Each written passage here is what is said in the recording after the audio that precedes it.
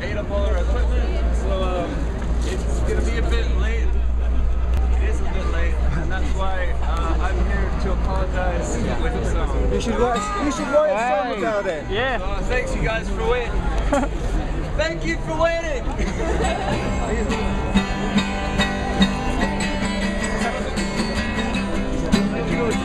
I'm